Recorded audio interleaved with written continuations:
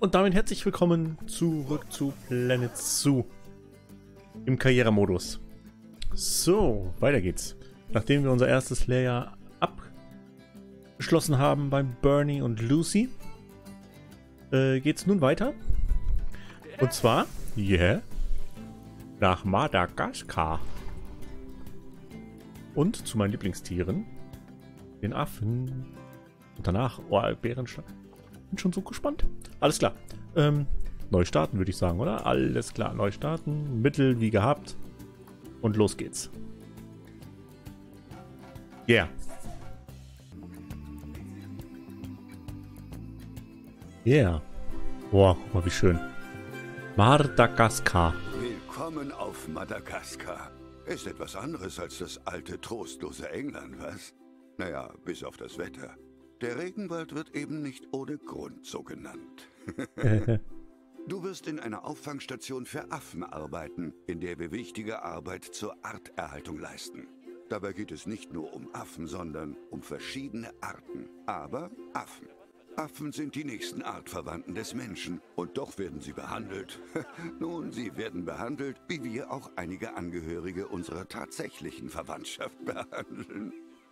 Deshalb bin ich auch entschlossen, hier etwas Gutes zu bewirken. Wenn wir einen Teil der Welt in einem besseren Zustand hinterlassen können, als wir ihn vorgefunden haben, hatte unser Leben einen Sinn. Ich hoffe nur, das gilt nicht für mein Zuhause. Bei dem Chaos dort hätte mein Leben sonst ganz sicher keinen Sinn. Und was sagst du zu Madagaskar? Mir Sehr schön hier. Etwas zu heiß. Naja, das hier ist auf jeden Fall Bernies Auffangstation für Primaten. Neben Primaten gibt es hier aber noch jede Menge andere Tiere. Wollen wir uns mal ein bisschen umsehen? Als erstes schauen wir bei den roten Varis vorbei. Das sind die, die aussehen, als gehörten sie in ein Stück von Shakespeare. Komm, geh zu ihnen rüber. Oh, wie cool, ey. Sieht richtig schön aus mit Wasserfall und oh, Wow. All diese erhöhten Stege. Da kann man sich vielleicht auch mal ein bisschen was abgucken. Für den eigenen Zoo. Boah, geil. Rote Waris leben in den Regenwäldern der Masoala-Halbinsel im Nordosten von Madagaskar. Sie werden 15 bis 20 Jahre alt. Unglaublich, oder? Das ist schon krass. Okay, wenn du bereit bist, geht es weiter zu den Borneo-Orang-Utans.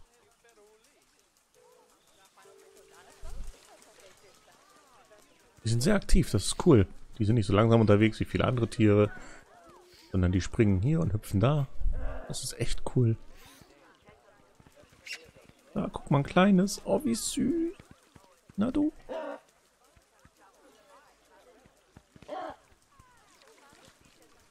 Auf geht's zu den Borneo Uran-Utans. Wo sind die? Oh, hier sind drei Gehege direkt zueinander.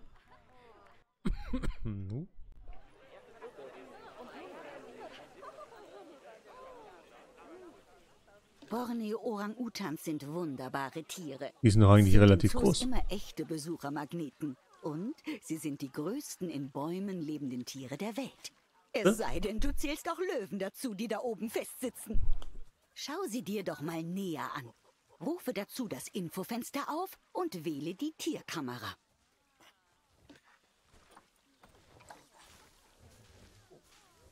Oh, mit Baby. Oh, das Baby Sind ist ja süß. Einfach großartig. Wenn du soweit bist, schauen wir uns danach mal die Bonobos an. Die sind was ganz Besonderes.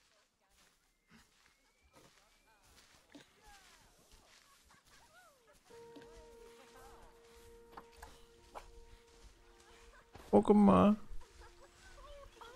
Voll zügig unterwegs, ey. Ah, langsam klettern. Boah, cool.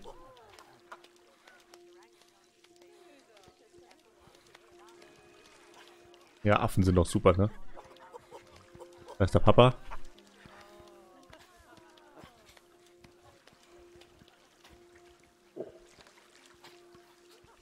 Richtig cool.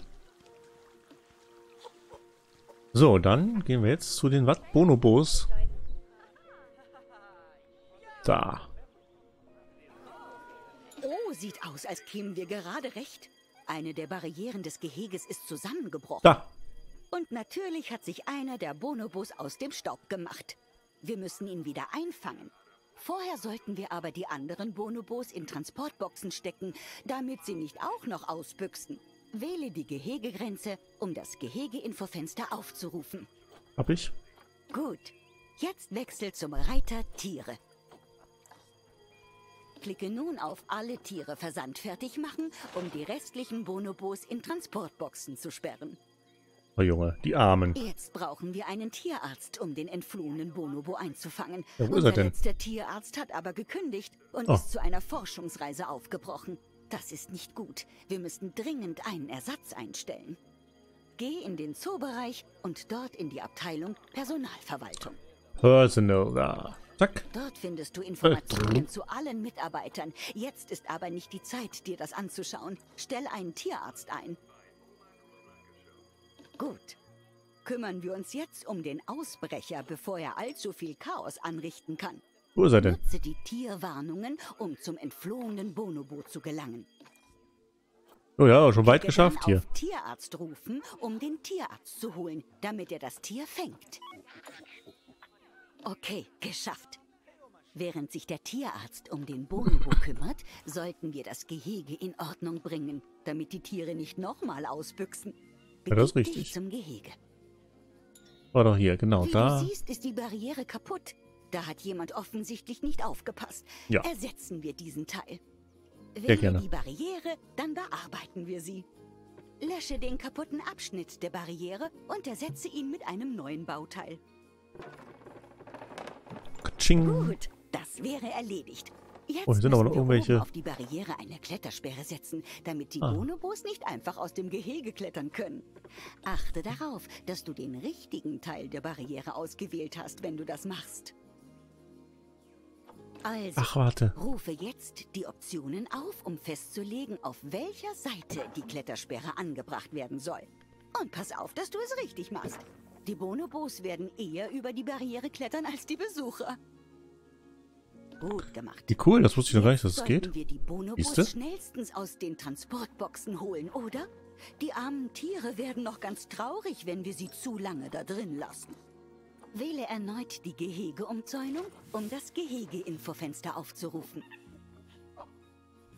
Scheinbar ist nicht nur der frühere Tierarzt des Zoos verschwunden, sondern auch die Techniker. Wir Ja, müssen ein deswegen. paar neue Techniker einstellen, damit nicht noch mehr Tiere entkommen. Techniker übernehmen verschiedene Aufgaben im Zoo. Die wichtigste ist aber die Wartung der Gehegeumzäunungen. Wenn die Techniker sie nicht instand halten, nehmen die Umzäunungen Schaden und gehen irgendwann kaputt. Und dann turnen bald überall entkommene Tiere durch den Zoo. Katsching. Geh wieder in den Zoobereich und dort in die Abteilung Personalverwaltung. Alles schon passiert. Mann, wir haben einiges erledigt, oder? Das Ging ganz schnell. gute Arbeit. Ich hol mir mal einen Kaffee. Ich glaube, Bernie will dich sprechen. Doch cool. Ich habe Fast gehört, 1000 du Leute im Zoo. Probleme mit einem entflohenen Bonobo. Das Wichtigste ist, dass du dich schnell darum kümmerst, bevor das Tier noch Klamotten stiehlt, sie anzieht und dann verkleidet durch das Haupttor nach draußen spaziert. Unsere Tierärzte haben nämlich auch die Aufgabe, Forschung zu betreiben. Ah, So können sie Beschäftigungsgegenstände, zusätzliche Informationen für Bildungsobjekte, bessere Zuchtprogramme und besseres Futter freischalten. Also Futter für die Tiere. Forschung allein reicht nicht, um das Essen in der Kantine zu verbessern. Naja, wie dem auch sei. Wie du siehst, ist Forschung ein wichtiger Bestandteil des Zoobetriebs. Damit ein Tierarzt Forschung betreiben kann, benötigt er ein Forschungszentrum.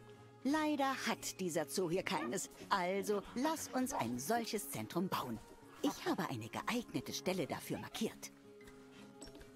Dir ist sicher aufgefallen, dass an der Stelle, an der du das Forschungszentrum bauen sollst, schon ein Gebäude steht. Aber keine Sorge, das Gebäude dort ist nur ein Rohbau. Wir können das neue Gebäude also dort errichten. Wenn du das Forschungszentrum auswählst und dann über den Rohbau bewegst, wirst du gefragt, ob du es dem bereits bestehenden Gebäude hinzufügen willst. da. Klicke, um das zu tun. Allerdings ist das Forschungszentrum damit immer noch nicht platziert. Zuerst müssen wir es drehen, damit es automatisch mit dem Weg verbunden ist, wenn wir es platzieren. Äh, Auswahl um hinzu. Alles klar. Das ist doch falsch rum jetzt, oder? Und das ist zu niedrig? So, oder? Das hat geklappt. Ausgezeichnete Arbeit. Mit unserem neuen Forschungszentrum können wir unserem Tierarzt direkt eine neue Aufgabe zuweisen. Beachte, dass Tierärzte nur Forschung betreiben, wenn sie keine anderen Aufgaben haben. Du kannst über das Infofenster eines Tierarztes zwar bestimmen, um welche Aufgaben er sich kümmern soll, aber das ist jetzt erstmal nicht weiter wichtig. Lassen wir unseren Tierarzt Katas erforschen. Geh in den Zoobereich und wähle dort Veterinärforschung. Da. Du siehst dort eine Liste aller im Zoo vorhandenen Bonobo. Tiere sowie alle Krankheiten, die potenziell auftreten können. Ziehe den Tierarzt einfach über den Eintrag Kata, um mit der Forschung zu beginnen. Das war Wenn einfach. ich so darüber nachdenke, ich glaube, wir haben gar keine Infotafeln oder Lautsprecher beim Gehege der Katas. Lass uns dorthin gehen und ein paar aufstellen, damit unsere Gäste mehr über unsere pelzigen Freunde erfahren können. Echt schön und liebevoll gemacht, der Zoo.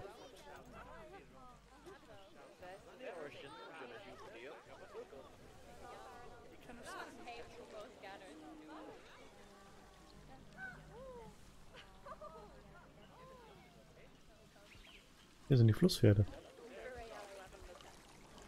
So, mal gerade gucken, wo ist denn jetzt? Da hinten ist das Gehege. Das eins anderes auf. Platziere sie an der Gehegeumzäunung und zwar so hoch, dass die Gäste sie lesen können. Alternativ setzt du sie auf einen Ständer. Ach, hier stehen schon einer. Guck mal da. Da und da hinten ist auch schon einer. Dahin. So. Eine Gehege-Infotafel.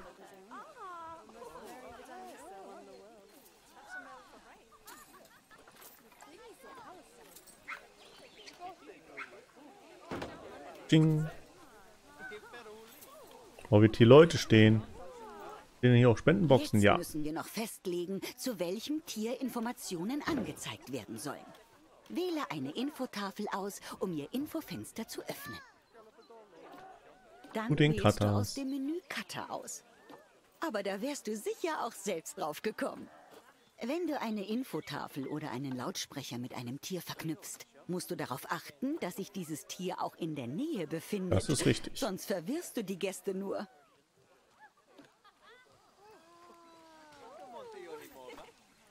Nun, da wir die Infotafeln haben, sollten wir noch zwei Lautsprecher aufstellen. Bei Lautsprechern können die Gäste einfach zuhören, um mehr über das Tier zu erfahren, anstatt sich die Information mühsam durchlesen zu müssen. Du darfst Lautsprecher aber nicht zu nah beieinander aufstellen. Sonst verstehen die Besucher den Text nicht, der vorgelesen wird. Das ist richtig. Kennt man ja. Lautsprecher. Machen wir den direkt hier bei, oder? Und hier hinten auch noch einen bei. Jetzt müssen wir die Lautsprecher nur noch mit dem Cutter verknüpfen. Das geht genauso wie bei den Infotafeln. Es ist so viel Betrieb hier, dass du überhaupt nicht mehr an die Lautsprecher rankommst.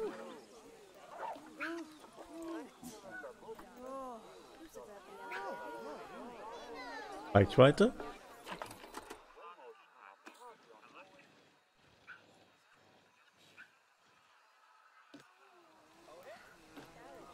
Klasse.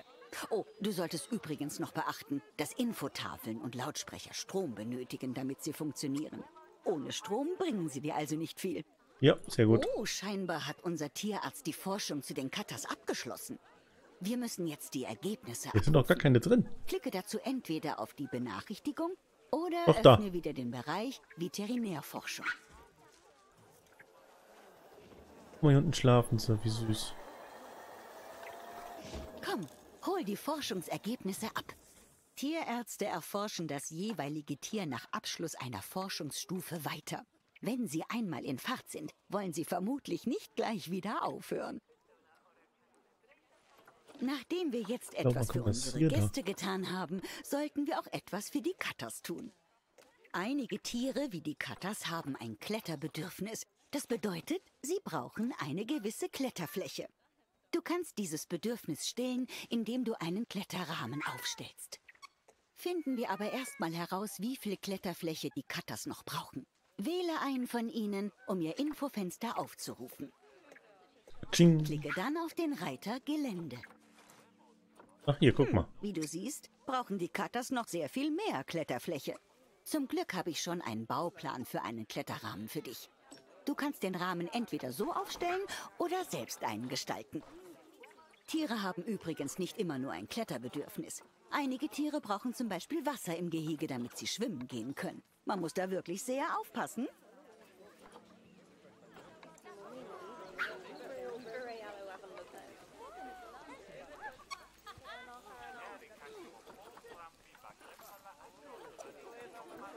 Ich glaube, das ist das hier noch das Beste, oder?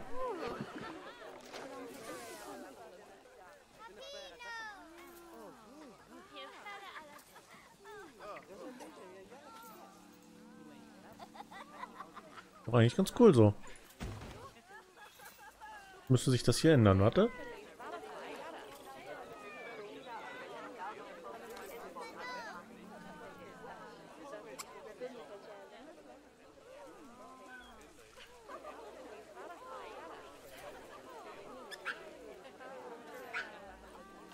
Muss noch schneller stellen. Oh, die klettern schon. Aber es ist noch nicht genug. Ich muss wahrscheinlich hier hoch auch noch irgendwie was machen. Dann bauen wir da auch noch was hin. Und so kleine Stangen, größere Stangen. Okay, warte. Sonst Ausrichtung Oberfläche auf.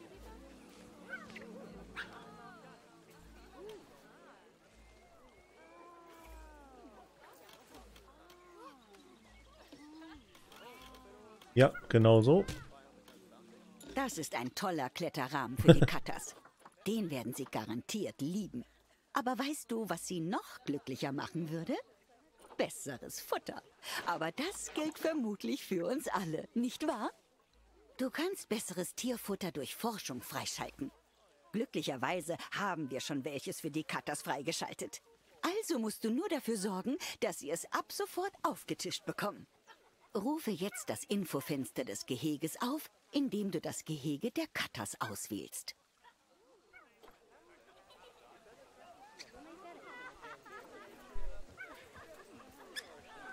So.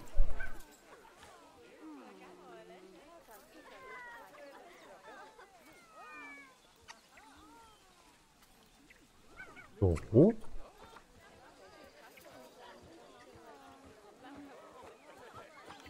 Ja, dann wollen wir es auch vernünftig machen, oder?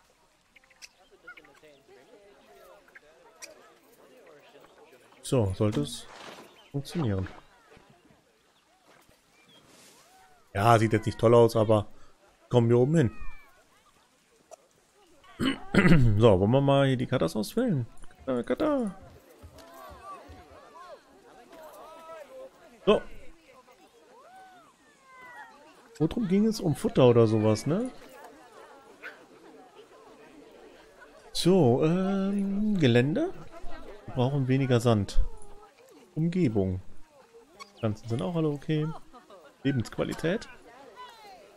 Der ist noch ganz jung. Oh. Ach, die Gehege umran. öffne den Reiter Tiere. Super.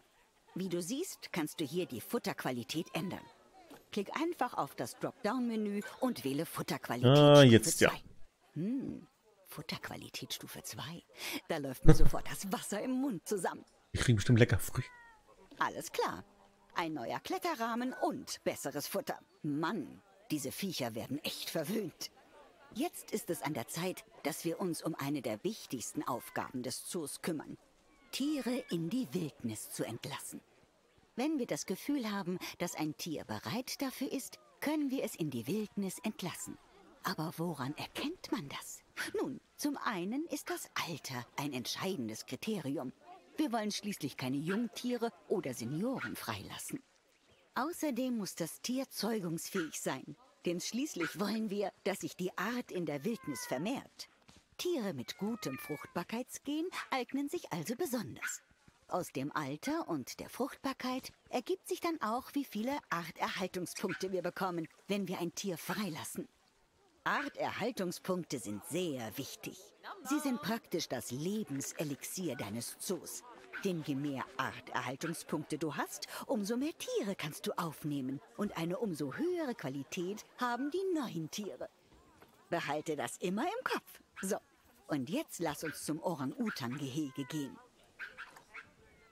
Da bin ich schon mal gespannt. Eigentlich ganz cool mit dem Klettergehege. Orang-Utan. Finde bitte Agung, einen Borneo-Orang-Utan, und wähle ihn im Gehege an. Wer macht denn hier so einen Lärm? entweder die Tiere einzeln anklicken oder du klickst die. Gehegeumzäunung an, wechselst im Infofenster zum Reiter Tiere und wählst Agung in der Tierliste aus. Hey, wir suchen den mal so. Weil hier sind ganz viele Jungtiere und das hier ist wahrscheinlich... Ne, das ist Dilla. Ah, ist doch noch einer. Halt! Bleibst du wohl hier? Auch nicht.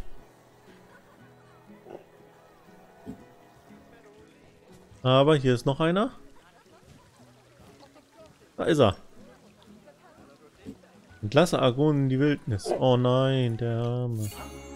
Boah, Junge. Guck mal hier. Eine Lebenszeit. Oh, das gibt richtig Arterhaltungspunkte. Geil. Ich weiß, es ist traurig, dass er Das geht, ist richtig. aber er wird es in freier Wildbahn gut haben. Und er ist ein prima Kandidat, denn er ist jung, kräftig und fruchtbar. Das war sehr gute Arbeit. Du hast wirklich Potenzial. Danke. Das ist sehr lieb. Ah, wie ich sehe, hast du deine Hausaufgaben gemacht. Wobei man kaum von Hausaufgaben sprechen kann, wenn es um etwas so Putziges wie Katas geht. Wäre Ja. es in der Schule weniger um Mathe und mehr um Mandrills gegangen, hätte ich bestimmt bessere Noten gehabt. Ja. Bisher haben wir uns nur um die Gehegetiere gekümmert.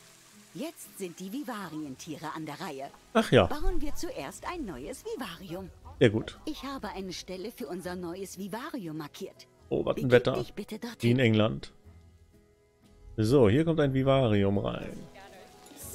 Lass uns jetzt in der Lücke ein neues Vivarium errichten. Füge es einfach dem Gebäude hinzu, genau wie das Forschungszentrum, und platziere es dann in der Lücke. Was hier? Ja. Vivarium, was ist das? Oh, ein betretbares Vivarium? Das habe ich noch nie gesehen.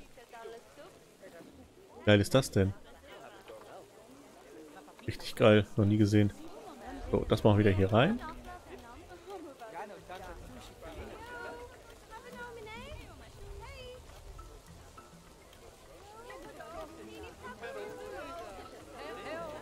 So. Sehr gut. Als nächstes musst du ein Tier für das Vivarium auswählen. Sehr gut. Wie wäre es mit der Gila-Krustenechse? Mit wem? Nimm über den Vivarienhandel eine dieser Echsen auf. Vivarienhandel. Gila-Krustenechse. Alles klar. Genau wie bei Gehegetieren müssen wir auch die Gila-Krustenechse dem Vivarium zuweisen. Klicke auf das Vivarium, um sie dorthin zu setzen.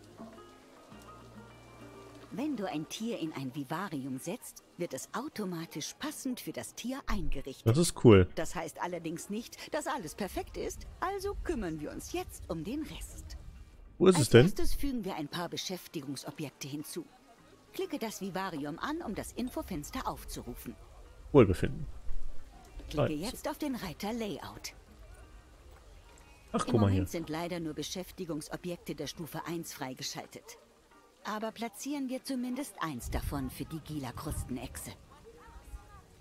Und Versteck. Wie du weißt, kannst du weitere Beschäftigungsobjekte freischalten, indem du deine Tierärzte Forschung betreiben lässt. Jetzt müssen wir noch die Temperatur und die Feuchtigkeit im Vivarium festlegen. Das ist sehr wichtig Wo ist sie denn? Wohlergehen der Gila-Krustenechse. Klicke auf den Reiter Klima. Hier siehst du, welche Temperatur und Feuchtigkeit die Krustenechse bevorzugt. Du kannst beide Einstellungen über die Regler unten anpassen. Sorge dafür, dass sich die Echse richtig wohlfühlt.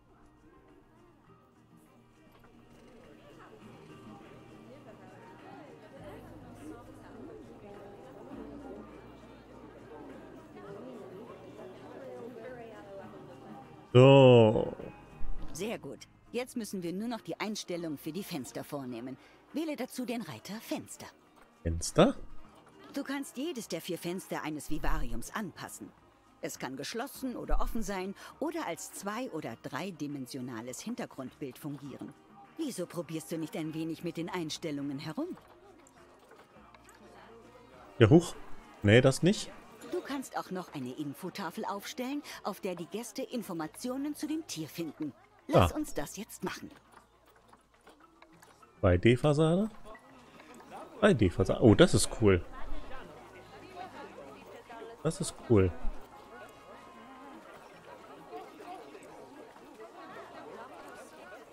Okay. So, was sollten wir jetzt machen? Der hat wieder nicht zugehört.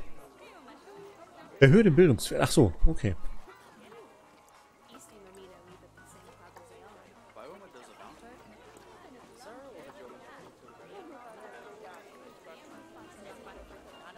Die Population. Aber wir haben im Moment nur ein Männchen. Aber selbst das ist äh, nicht zu sehen. So eine Infotafel.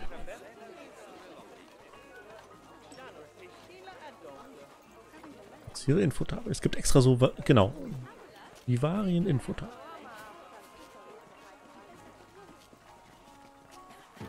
Zack. Und da müssen wir jetzt die ja. Jetzt können die Besucher mehr über unseren giftigen Freund hier erfahren. So, jetzt habe ich eine größere Aufgabe für dich. Ich will, dass du die Zahl der im Zoo vorhandenen Arten erhöhst. Du Okay. solltest dazu Vivarien und Gehegetiere aufnehmen. Und du wirst entsprechend neue Vivarien und Gehege für sie bauen müssen. Na, dann mal los. Ich schaue wieder vorbei, wenn du fast fertig bist.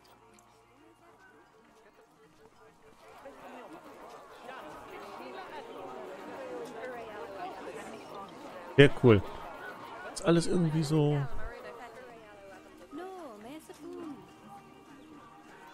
cool hergerichtet alles.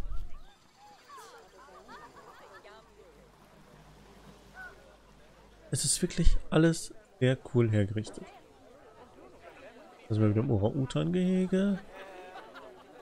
So, wo sind wir hier? Das ist gar kein Gehege. Doch, das hier unten sind die Nilpferde. Hier, das hier sind was? Das sind die Bonobos oder so, ne? Ach, schau hier hinten. Da soll was hin. Da soll was hin, oder?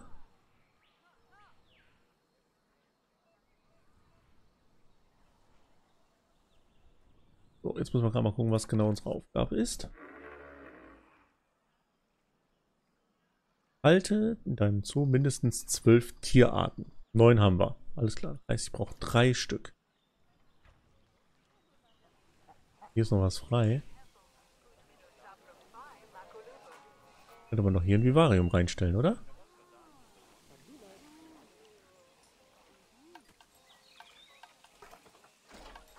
Einrichtungen.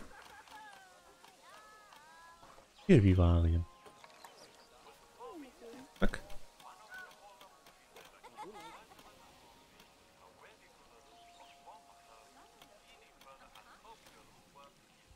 Genau so. Genau so. Das hier kopieren wir. Stellen das mit dahin. Zack. Holen wir noch ein Tier. Das Vivarium. Was ist das? Eine Schabe. Bei Vivarien Aufbewahrung ist nichts. Ich kenne mich hier überhaupt nicht aus. Diesen Vogelspinne. Vogelspinne, Frosch. Großes wandelndes Blatt. Kann das nicht hier auch? Wikipedia? Vivarium.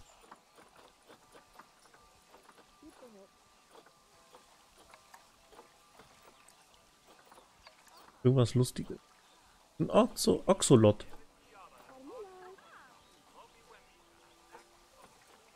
Schnecken, Feuersalamander, gelbe Anaconda.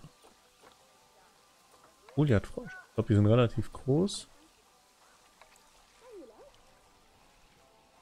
Leguan. Noch ein Leguan.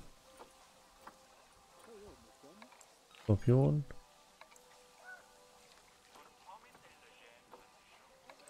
Eine Puffotter. Todesotter. Und eine Klapperschlange. Klapperschlangen sind auch cool, glaube ich.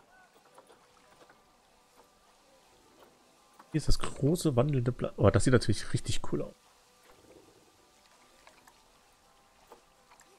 Kann man die auch irgendwie zusammen in eine...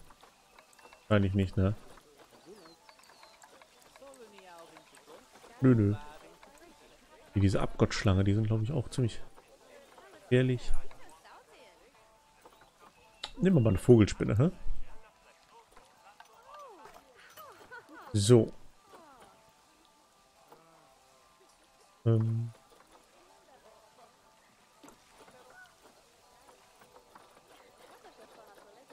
Mal gucken, kann man hier einfach so auswählen? Ja, aber so war das. Ach ne, müssen wir hier machen. Müssen wir hier machen.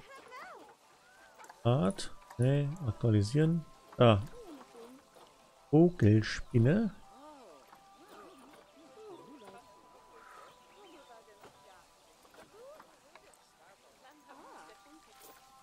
Afrikanische Rotknie-Vogelspinne bestätigen. Ja, war so klar.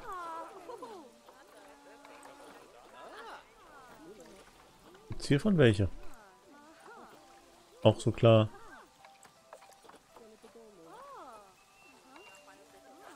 Koreanische Vogelspinne.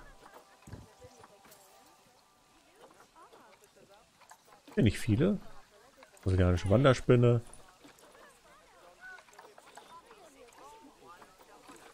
Hier nur bestimmte Sachen, oder was? Oh, hier so ein Insel-Leguan. Aber daneben ein Weibchen und ein Männchen. So, wir machen das folgendermaßen. So. Davon haben wir doch gerade schon. Dann machen wir ein Männchen.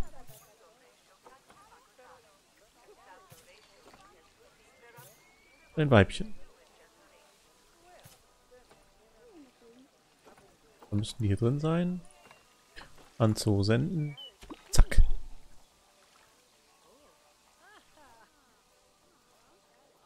Ja, die kann man wenigstens sehen hier.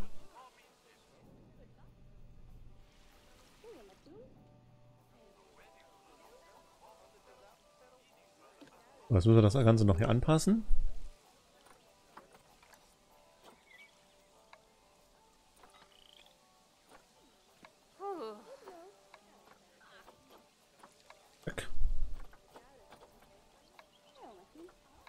Füllen wir zum Klettern da rein. Temperaturen wollen die haben zwischen 26 und 31. Da ist die Mitte irgendwo so bei 26, 31. 20, 29 Grad. Und Luftfeuchtigkeit zwischen 50 und 60 wäre 55. Zack. Würden die sich wohlfühlen? Anpassen. Das ist das Falsche. Da können wir noch eine 3D-Fassade. Ach nee, das wollen wir nicht. Leer. Wir wollen das ja bei 1 haben, bei 2 haben. Eine 3D-Fassade. Machen wir hier auch. 3D-Fassade. Da auch eine 3D-Fassade. Und dann machen wir das aber hier auch. Und da machen wir auch. So, da ist schon. Haben die hier... Ach cool, sogar mit Wasserfall. Das ist richtig gut. Sehr gut. So, jetzt haben wir die erste... Jetzt brauchen wir hier noch so eine, Einrichtung. Hier so ein...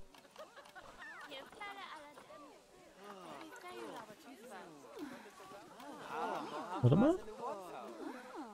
Oberfläche ausrichten.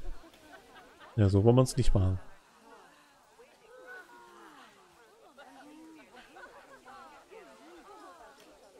Ja, warte. Noch Positionsausrichtung. Zack. Muss einrichten.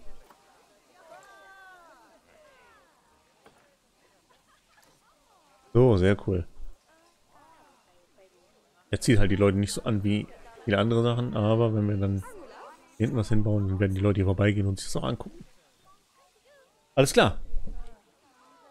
So, wie wir gleich äh, oder später neue wir später neue Tiere hier zufügen. Ähm, das sehen wir dann in der nächsten Folge. Und ich bedanke mich fürs Zusehen. Und ähm, wenn ihr wollt, könnt ihr gerne abonnieren, wenn ihr es bis hierhin sowieso geschafft habt. Dann verpasst ihr nämlich auch nicht die nächste Folge. Vielen lieben Dank fürs Zusehen. Macht's gut. Tschüss.